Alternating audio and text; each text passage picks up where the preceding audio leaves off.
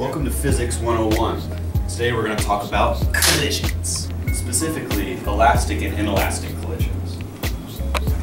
But what are they? I'll tell you. An elastic collision is when two objects bounce into each other and come apart, but an inelastic collision is when two objects hit each other and stay together as one, or if they're already together as one and come apart. There's an equation for each of these. In an elastic collision, the mass times the velocity of the two objects are added together, and it's the same before and after the collision. In an inelastic equation, the first half is the same, but in the second half, you multiply the velocity of the two objects together by the sum of the two objects' mass.